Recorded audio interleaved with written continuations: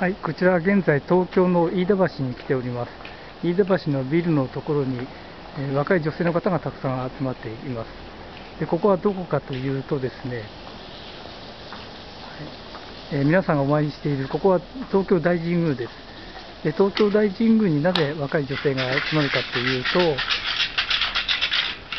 これです。ここは恋愛成就の神様のお寺だからです。どうですか？皆さんも東京大神宮の方にお参りしてみませんか？